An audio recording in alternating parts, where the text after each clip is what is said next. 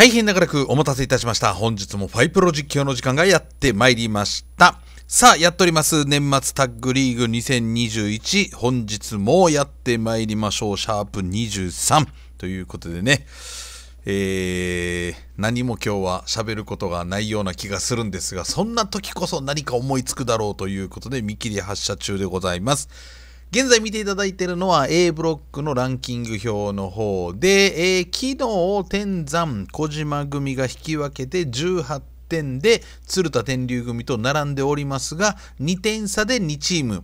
1点差さらに1点差で1チームさらに1点差で2チームさらに1点差で2チームということでどちらかというとちょっと点差はあるものの団子状態、えーになっております、えー現在13点のウルティモ鈴木組ウルティモドラゴン鈴木みのる組ですね。ここが5点を加えて18点になればトップと並ぶことができるというのがまあ団子状態ということになりますね。本日は A ブロックの方が2試合。その坂あじゃあえーそのウルティモドラゴン鈴木みのる組と、えー歌舞伎長崎組。そしてもう1試合が坂口オスプレイ組と中野茂木組ということになります。では B ブロックの方ですね。B ブロックの方は現在トップ24点で昨日勝ちました。藤原アンドレ組が24点で単独トップ。3点差で、え21点。藤波長州組。2点差でハートマイケルズ組ということでこちらはどちらかというと離れているという状況になりますね。本日 B ブロックの方は1試合ハンセン・ブロディ組対ブレッドハートショーン・マイケルズ組ということなので、えーハンセン・ブロディ組は勝っても5点加えてもちょっと追いつくのはしんどいんですけどもハート・マイケルズ組現在19点ですから勝って5点加えたら24点で、えー再びトップに並ぶことができるという状況ですが果たしてどうなるでしょうか？本日も3試合お届けしてまいります。まずは A ブロックの方から坂口誠二ウィル・オスプレイ組対中野真一茂木正義組の試合お届けしてまいります。試合開始です。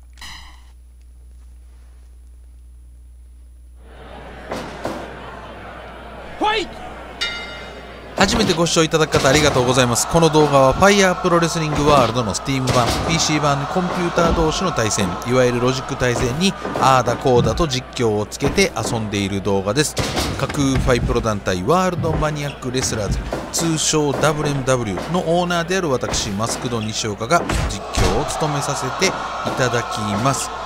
さあということでですね、えーこの収録前にちょっとパンを食べたら、えー口の中がなぜかよだれまみれになってちょっとおうまく喋れてないような気もしますが気にせずにやっていこうと思います。えー今回はですね、ちゃちゃん何が、えー今回は架空ファイプロ団体 WMW5 年連続で行っております年末の風物詩年末タッグリーグということで、えー、と現在架空ファイプロ団体 WMW にいるレスラーで20チームえー私が組ませていただき、まあ、そこはいろんな方法で、えー組ませていただいてで、えーその20チームを10チームずつ A ブロック B ブロックに分け各ブロックで総当たり戦を行いで1位同士が優勝決定戦を行うという企画でございます、えー試合ルールにつきましては基本ノーマルルールの30分一本勝負ですがクリティカルの発生率が高い。で、えー、と5点方式で、えーあらゆる負けは0点。3カウントおよびギブアップでの勝利クリティカルもま含むということですね、えーが5点。で、えー引き分け時間切れ引き分けと両者リングアウトの場合は2点ずつを分けます。あとはリングアウト勝ちの場合が多分4点だと思うんですけどねというところが未だに続いている。そのまま多分そうなんだと思うんですけどねっていうのが続きそうな気がしますけどね。ここまで見てると。で裁くレフェリーはジョー樋口さんということで、えー、3カウントを叩くスピードが遅く移動速度も遅いということになりますが来年は果たしてどうなるやというところですかね、えー全く違う毛色の新しい形の年末タッグリーグをやるのか伝統を重んじるのかということですね、えー何回か前に言いましたけどね100%私、えー来年のこの時、まあ、この年末タッグリーグが始める前に、えー忘れてますから、えー忘れてます、えーそれは皆さんでまたフォローしていただけたら。去年こんなこと言ってましたよ。あと嘘はね嘘は言わないようにしていただいて。はいということでやっていきましょうかね。えー、坂口オスプレイ組が現在16点中野表組が8点ということで、えーとまあ、いつもこれを何回か言ってますけどねあの進行の関係上、えー、と点数が低いチームをちょっと先にやるので中野表組がこれは8試合目となります。他のタッグチームは全部7試合目。ということになりますので、えー中野茂木組が8試合目1試合ちょっと多い状態になっておりますが、まあ、この辺はねあのもう消化試合を先にやっておくということで多分ね一応そういうことがないようには思ってるんですけども今後このペース1回の動画で3試合ずつというペースの中で、えー A、B、A とかね B、A、B とかっていう順番でやるんですけども、えー同じチームが同じタグチームが、え1回の動画で2試合することは多分出てくるでしょうね。もうでも以前はねなんかそのリアリティを求めるというかなんかそれってどうなんだろうと、えー同じメンバー同じレスラーが何度も出てきた。皆さんが飽き見てる側のね皆さんが飽きるんじゃないかなと思って僕は極力避けてきたんですよ。まあただあのトーナメントとかでねそれはもうしょうがない場合はもうやるけど。もうでもね最近あんまりそうでもないのかなと思ったり。まあ実際私はそのレスラーをエディットしてテストマッチを行う時は同じレスラー同士で戦うことが多いんですよね。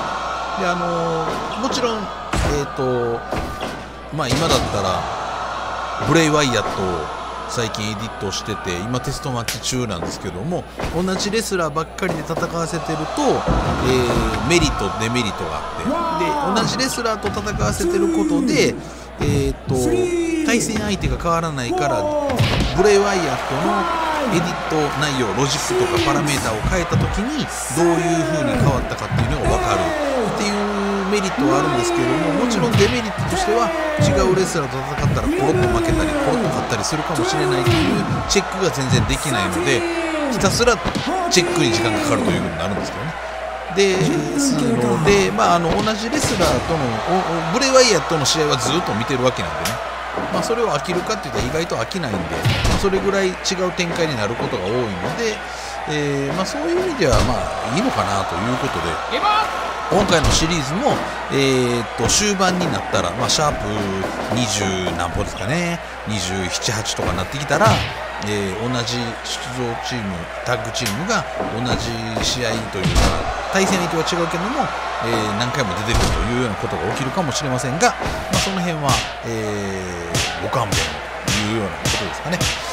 はい、というわけで、えー坂口オスプレイ組現在16点。うん現在2点差でトップが、えー、と2チームあるのでこれで勝って21点まで点数を伸ばすことができれば十分優勝この、まあ、1位ですね、えー A ブロックの1位を取れる可能性はあるというところですね。なんとなくなんですけどね、なんかこの、えー、と適当にじゃないね、これはまああのフィーリングカップル5対5形式といいましょうかね、えー網だくじで結ばれた赤い糸で結ばれたタッグチームが、えー今回出場するというちょっとそういう遊びを加えてみたわけなんですけども。意外とこの適当に作ったというかそういう風なチームの方が活躍している場合もあるかなと、まあ、B ブロックの方では今日は試合ないですけども、えー昨日メインを務めた藤原アンドレ組もね異質というか異色のタッグチームなんですけども、えー意外と活躍してたりします。もちろんまあ活躍みんながしてるわけじゃなくて今日試合のあるウルティムドラゴン鈴木みのる組なんていうのは、えーなまあまあまあ普通かなぐらいになってたりしますからね。まあわからないですけども、まあ、このタッグというところは運っていう風に僕はよく言ってるんですけどね運が運も実力のうちその実力を運をつかむことができるかどうかって言ってますけどまあ科学的に言えばそんなことはないわけであってね。何かなんかなんか理由があるはずなんですよね。なんか勝てるチームと勝てないチームと。まあクリティカルって言われたらもうそれまでなんですよね。クリティカルがよけ出るたくさん出る可能性のあるタグチームが多分このルールだお今スライディングで落ちましたね、えー、ということにはなるんでしょうけどね、だそうなるとまあこれもねだからあのこのタッグリーグ戦をえー、と勝つためのレスラー、まあ、タッグということになるとクリティカルの出やすいレスラーを2人揃えたら優勝するんじゃないかとかっていう風になってくるんですよね。それもなんかねなんかあの悪くはないけど面白くないような気もするというようなことですよね。まあまああのまあそういうのがなんかねあったりするからあの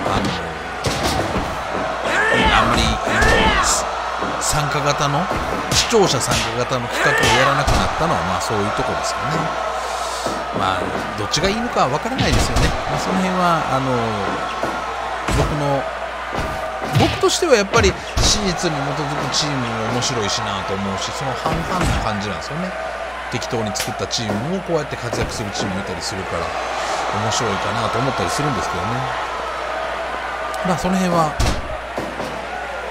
なんていうんですかね。あの何が正しいかっていうのは絶対答えは出ないでしょうからね。こうなったからこれこれだから正解っていうのはないですから、えー、まあ、今後も悩み続けていくことになるんでしょうけどね。まあはいはいそそんなことですかね。さあというわけで試合の方ああいつの間にか18分や。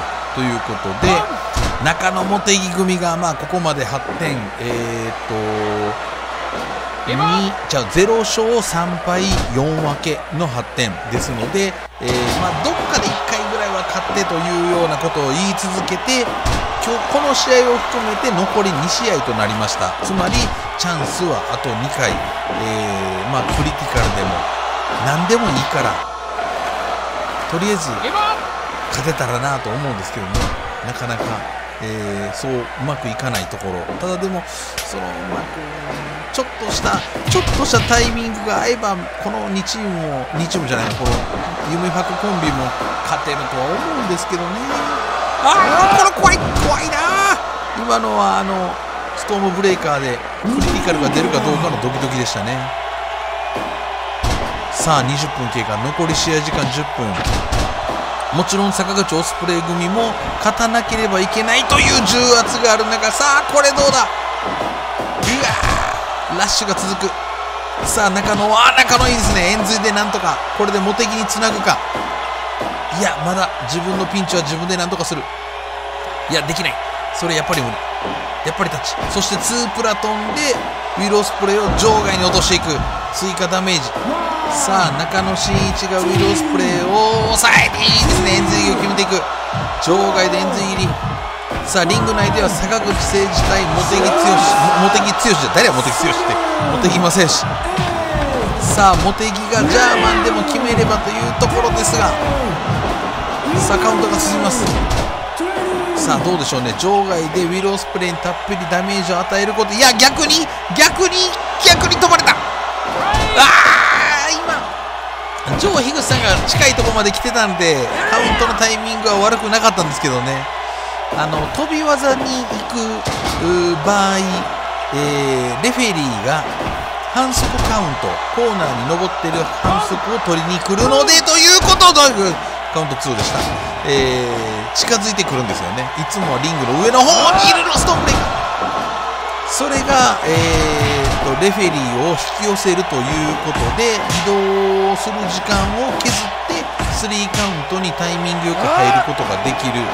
なので通常リングの下側この画面上のリングの下の方で戦うのは得策ではないんですけども飛び技だけは、えー、そこで戦っている時の方がスリーカウントを奪いやすいという一応一応そういうまあ偶然的なものがあるんですよね。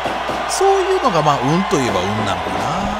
さあおお世界の表し坂口誠二がジャンピング2位から今逆エビ固めか何か狙ったんでしょうけど茂木はなんとか方法の手で逃げ出して中野にタッチ。さあ中野がショルダーアームブリーカーからカバーに行く。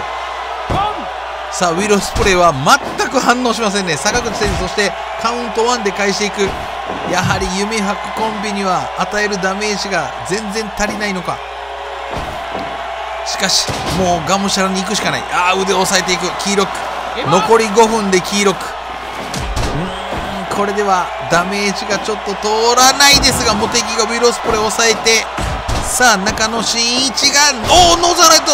スープレックスホールド。うわカウント2まで入る。さあモテギとしてはもう自分の持てる力を全部出していかないといけない。さあこうなったら場外場外戦で勝ってもそれは勝ちは勝ち。茂木がウィロースプレーと組んで。さあ坂口誠二に捉えておくことができるか。茂木何回おいいぞいいぞ。あーでもこれやったかさすが上樋口さんカウントが遅い。さあ残り試合時間が3分30秒。坂口オスプレイ組としてはこれを勝って抜け出したいところですが、えー、引き分けで2点を加えたらトップとこれで3チーム並ぶんですね。そして今日は最後に3試合目に歌舞伎長崎組が現在16点なのでそこももし引き分けたらこの A ブロック18点で4チームが並ぶという結果になるんですよね。そうなるこれが一番最初の序章となるのかこれは。あーっと待ってください。上樋口さんが坂口誠二と衝突してしまいました。これは長いですよ。これそういえばあのももちろん残り2分ぐらいあれば立ち直るんでしょうが時間ギリギリギリやったらどうなんねやろ。30分経ったらさすがに試合が強制的に終わるのかな。さあ言ってる時でその場飛びのシューティングスター坂口誠二が届かない。届かない。ちょっと遅かった。いやー茂木がダイビングヘッドバット決める。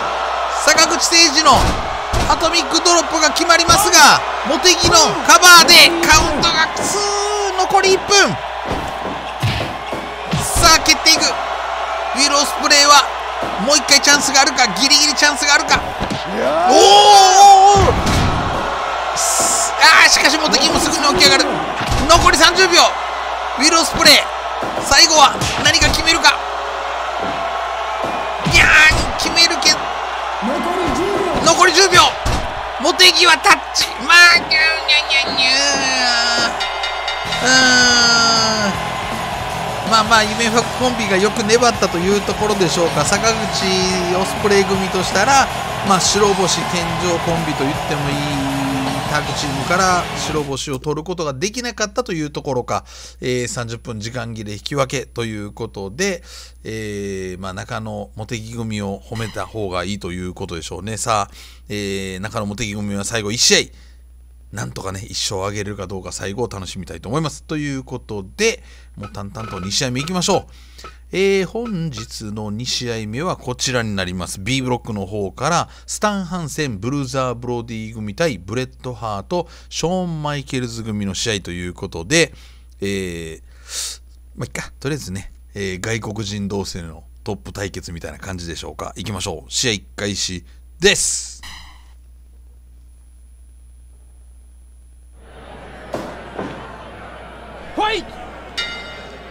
さあということで先ほどね、まあ、トップ対決と言いましたが点数では大きく差が広げられている差が開けられているハンセン・ブロディ組が、えー、現在12点、えー、ね、最強タッグリーグ最強タッグではもう長寿コンビとして、えー、世界に名を轟かせた2人なんですけどもこのファイプロの世界では、えー、6引き分け負けはしない。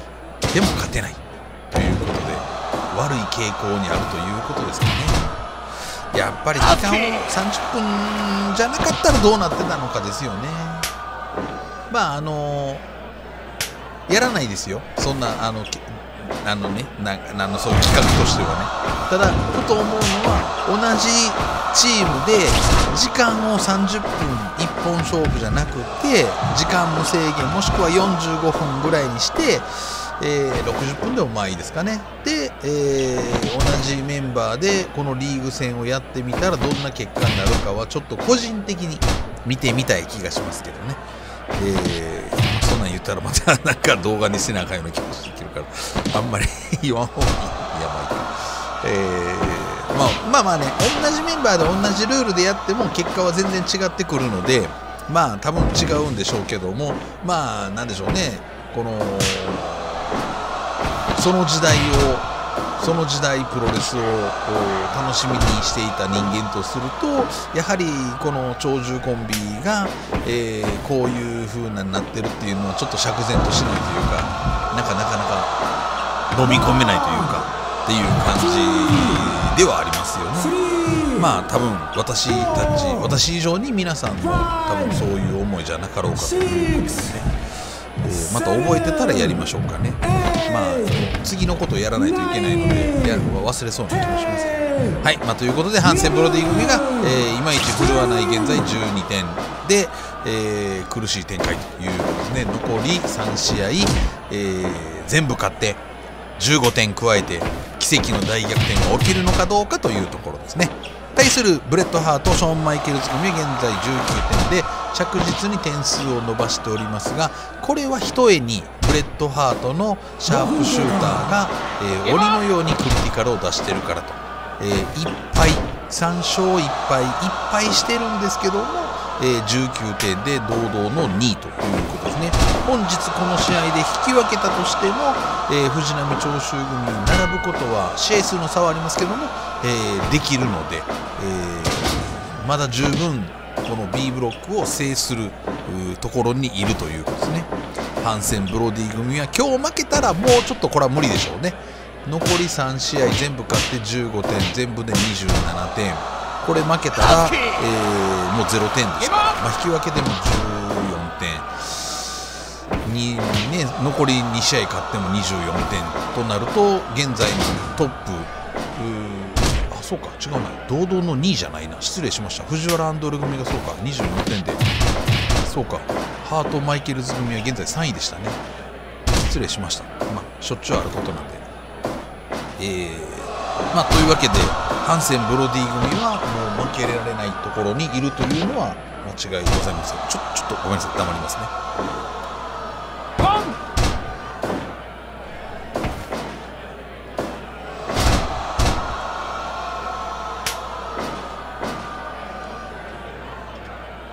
はい大丈夫です。戻りましたさあということで、えー、試合の方にもう集中していきましょうね。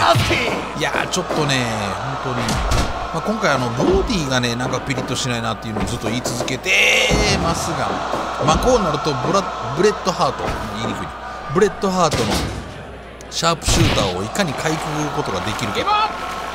いやでもそんな弱気じゃあかんねやろうな。いやハンセン・ブロディ組頑張る。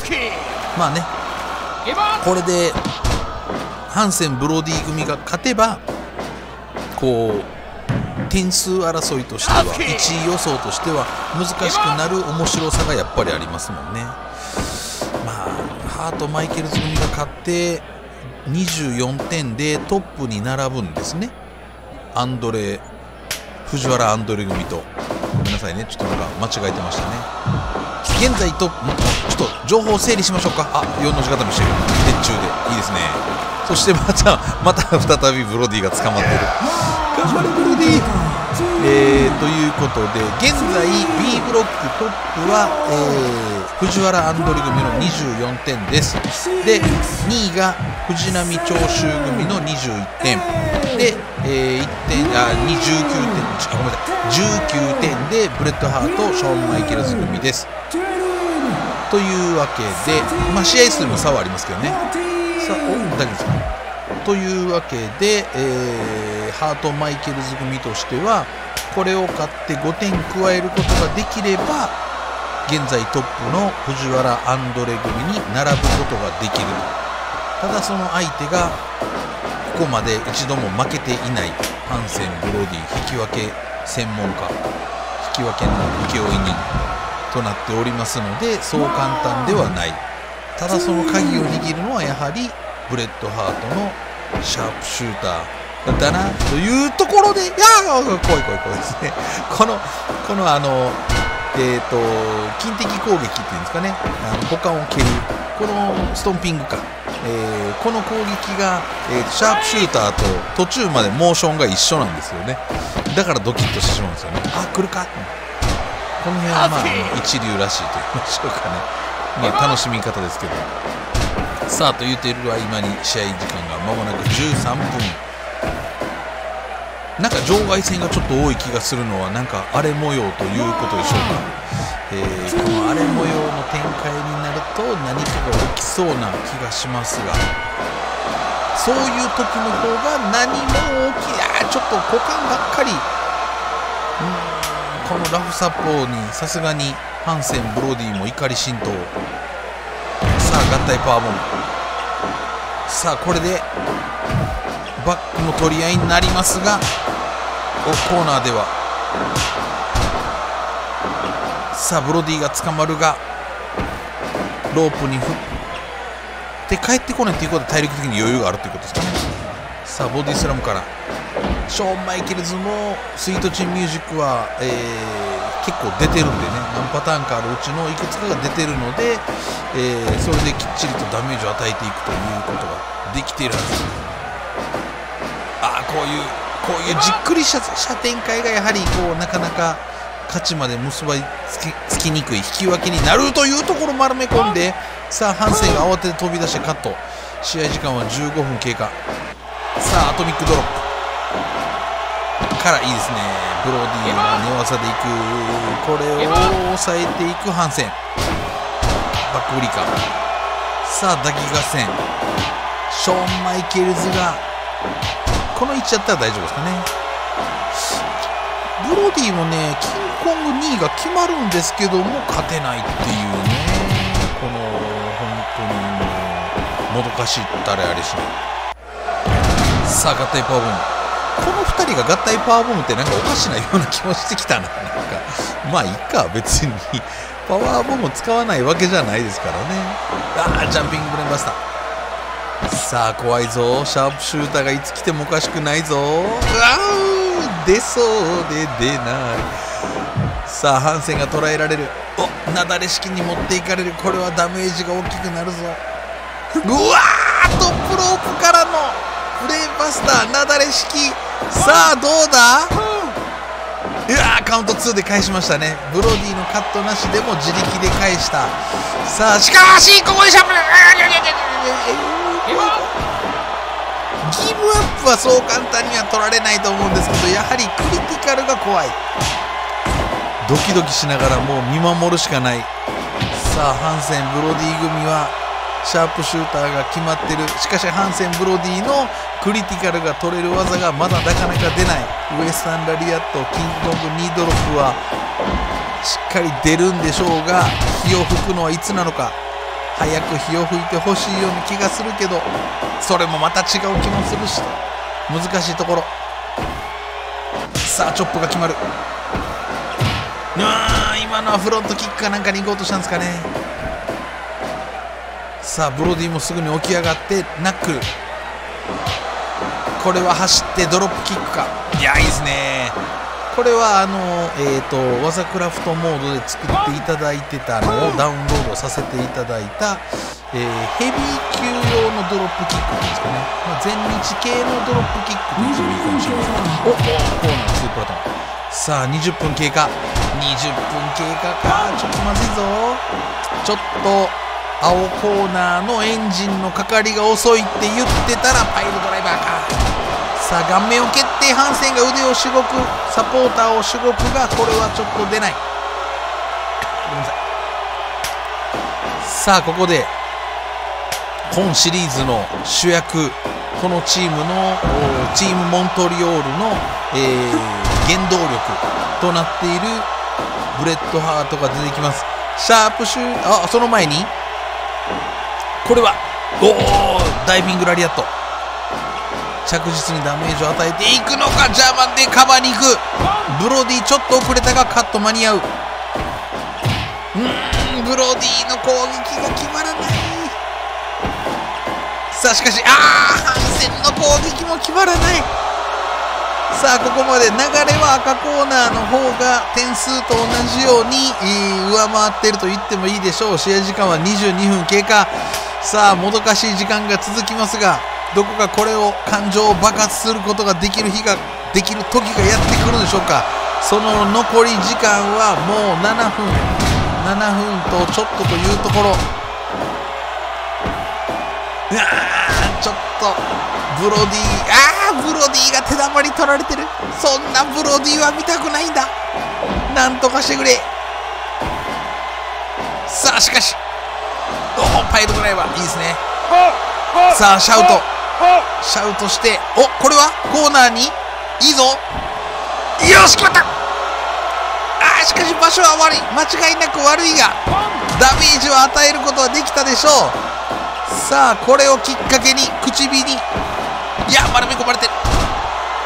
しかし試合権利があるのはショーンああブレットハートがスリーパーでいきますがこういや今のあでもねこれでショーン・マイケルズを捉えることがなんでこんな時にツープラトン決まらんのよ。ムキー。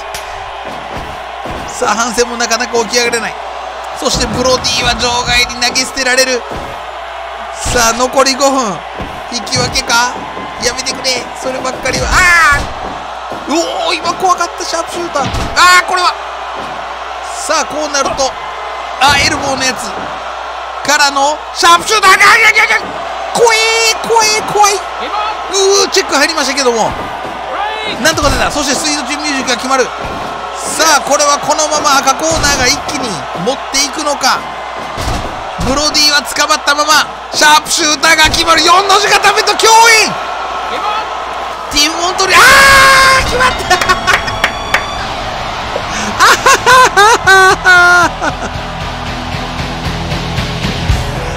くっそー。しょうがない。けしょうがない。最後のあの共演を見せられたらね、うん、まあ。しょうがないですね、えー、試合時間26分9秒。ブレットハートがスタン・ハンセンからシャープシューターで、えー、クリティカルではなくきっちりとギブアップを奪った試合でした。ハンセン・ブロディ組は初の黒星、えー、ということでついに負けないチームという名前も剥奪されてしまいました。はいもう次行きましょう。ね。もうしょうがない。誰やエディットしたのはね ということであかん落ち着け。これじゃない。これはい。というわけで本日の3試合目 A ブロックの方から、えー、ウルティモドラゴン鈴木みのる組対ザ・グレート歌舞伎剣道長崎組の試合本日の最後の試合です。いきましょう。試合開始です。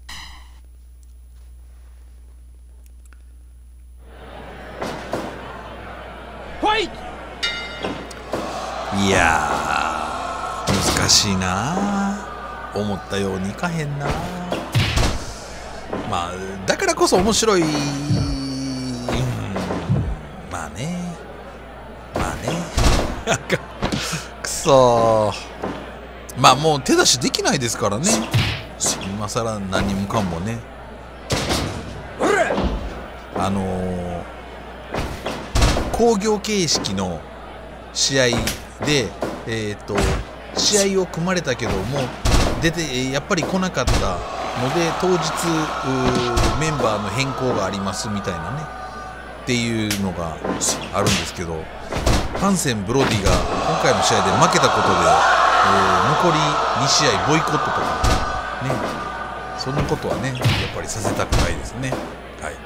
そんなことをちょっと 思いつきはしましたけどもさすがにそれはちょっと怒られそうな気もするのでやめときましょう。まあ何ですかね。あの相撲僕あんまりよく分かってないんですけど相撲の世界であの怪我をしたら休場とかってねいうのがあってでも本当は、まあ、本当に怪我してはるんでしょうけどもその怪我をして出ることもできるし、えー、まあ、将来のことを考えたり休場することの方がいい。もしくはその、えー、分が悪いこのまま残り強い相手いっぱい残ってて、えー、負けそうだからそれだったら球場でとりあえず延命処置を取るみたいななんかあったりするんですか？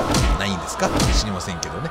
なんかそんなことのような感じでハンセン・ブロディ組もこれ以上傷口を広げないために、えー、ボイコットという形で欠場して、ー、プライドというかハンセン・ブロディというその名前を守るみたいなとことをねちょっと今思いついたんですけどもさすがにやめときましょうね。もうそれは最後までやりましょう、はい、ということでえー、ウルティモドラゴン鈴木みのる組現在13点ですね。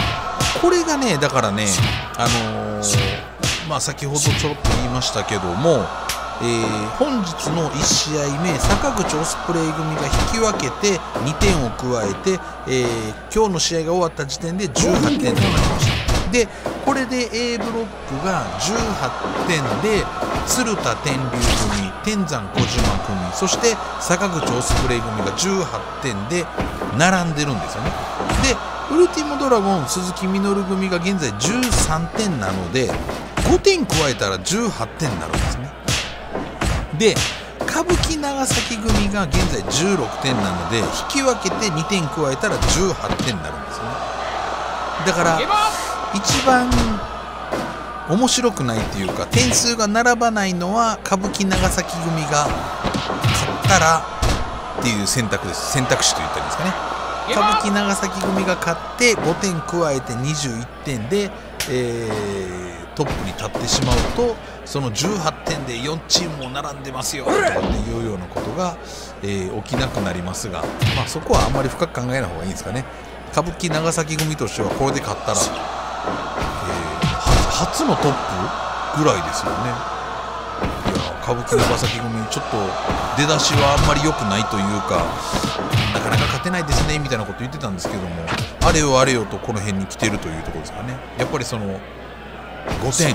1勝を挙げるということがどれだけ大事かということが、えー、このチームでよく分かるというところでしょうね。対するウルティモドラゴン鈴木みのる組も決して弱いわけではない。個々の力は弱くはない弱いわけではないんでしょうがここまで1勝1敗4分け、まあ、やっぱり引き分けが多いというところですかね。で勝ってるのが中野茂木組。という言い方をするとあんまり良くないかもしれませんが、えー、やっぱりなかなか大物食いができないというところですね。クリティカルとか出てもおかしくないような気もするんですけどね。あとウルティムドラゴンの機動力移動速度の差がうまくピチッとうまくはまればっていうようなところのような気もするんですがそれがうまくいかないということですかね。ああいいですね。今みたいな攻撃。あでもそれをトラスキックで返していく。やっぱりこの辺は歌舞伎長崎組の方がじっくりとしたテクニック。寝技のこう出るタイミングというものでしょうかね。が、えー、勝利に結びついてるのか。歌舞伎長崎組はなんだかんだ言って2勝してますからね。あでもその2勝のうちの1勝が中野茂木組ということなんでね。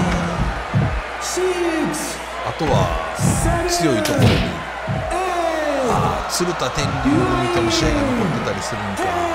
いや分からないですね。まあ、ということで歌舞伎長崎組が勝ったら、えー、大きく変わる引き分けでも面白くなる。ウルティモドラゴン鈴木みのるが勝っても、えー、面白いということで。どう転んでも面白くなるはず。よし。先ほどのハンセンが負けたことはもう水に流しましょう。水には流れへんか、えー、もうね今ここはもうそこにはこだわらないようにして。おこれはフィストドロップ。これはねあの技クラフトモードでダウンロードさせていただいたやつですね、まあ、カブキのフィストドロップといえばちょっと特殊な、えー、モーションといいましょうか。ファイプロワールドにもともとあるフィストドロップのモーションなわけじゃないんですけどね。個人的にはこのカブキの独特なこの飛び方というかあれが好きで。でコーナー最上段から飛ぶフィストドロップは自分で自分なりに作ってみたんですけども、えー、このフィストドロップはコーナーに持たれた相手に決めるやつですね。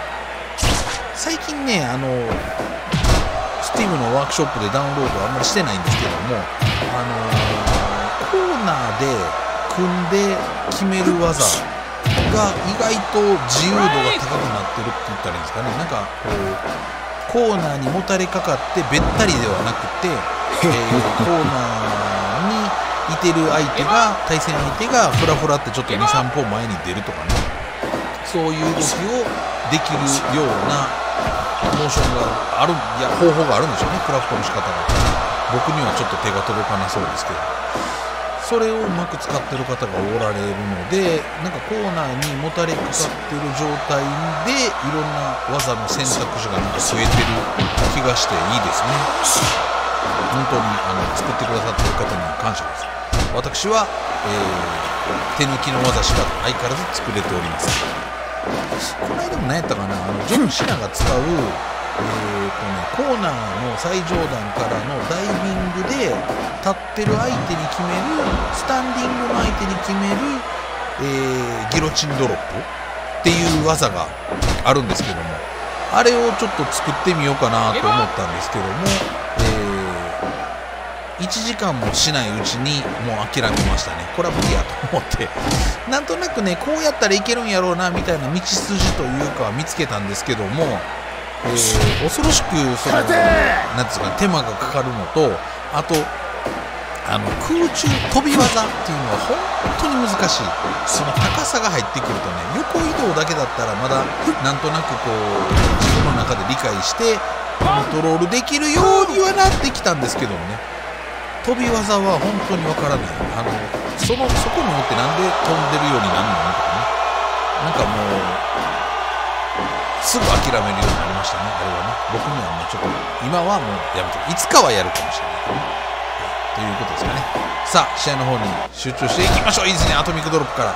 さあオリエンタルコンビ試合時間が17分。そろそろ本領発揮噛みつきなどで流血させることができればというところですが今のところはまだそれが爆発してないと。さあ鈴木みのるに対してこれは決めておお鈴木みのるが腕を取っていく。試合権利があるのは鈴木みのるですがこれはロープレイク。さあ長崎と2人出てきて脇固め。これは悪くないですね。この辺長崎も腕を攻める技があって歌舞伎もこういう腕を取っていくのでそれがうまくこうお互いはまっていく感じといったんですかね。うまくコンビネーションが揃っていくとあいいですね。こういう流れですね。でこれをああ今やらなかったですね。あそこから脇固めとか腕ひしぎになんか言ってくれればね。さすがオリエンタルコンビと言うたいとこ。おおでもこういうのいいですね。グランドマンですかね。いやさあ鈴木みのるがちょっと怒ってきたかフラストレーションが溜まってきたがそれを流すかのように長崎が流すと長崎が今ややこしかったですね。さあ剣道長崎が一本も引かない。ああしかしゴッチ式鈴木式のパイあ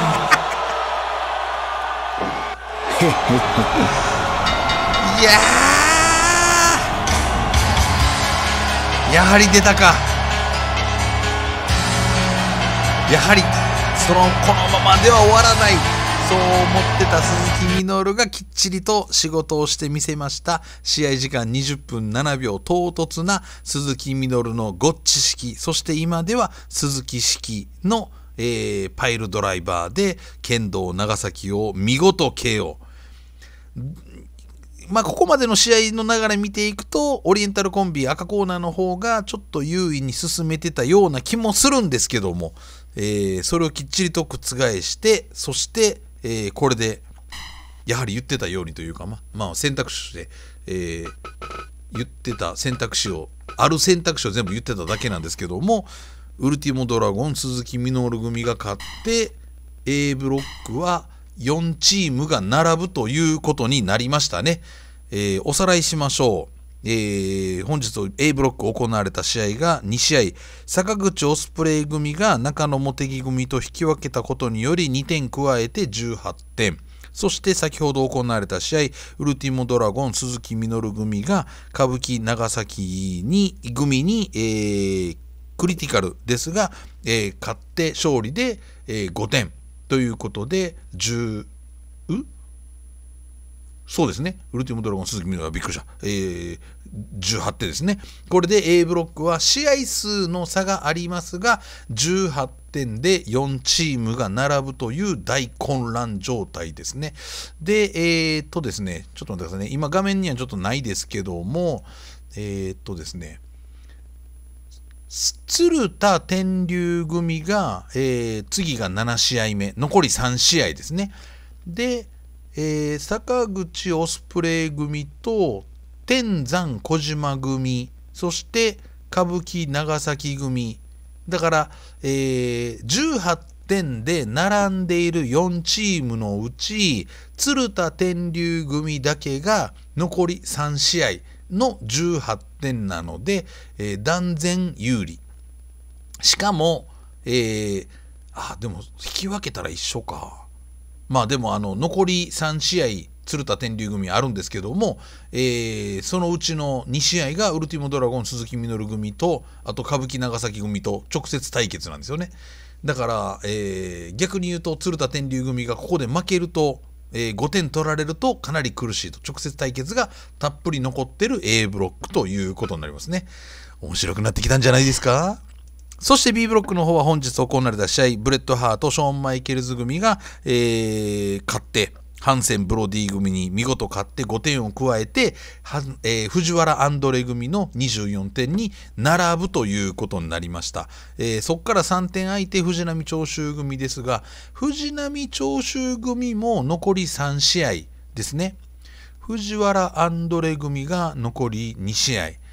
今日試合を行ったハート・マイケルズ組も残り2試合。なので藤波長州組は、えー試合残り試合数でいうと、えー有利な状態になりますので B ブロックはこの3チームに絞られたかな。いやでも分からんもんな。長野武藤組も残り2試合ありますからそれを勝てばまだまだ分からないというところですかね。だからまあ A ブロックも B ブロックも上位この4チームが、えー優勝優勝各ブロックで優勝して1位で優勝決定戦に行くかなというところでしょうか。はい。ということで、えー盛り上がってまいりました。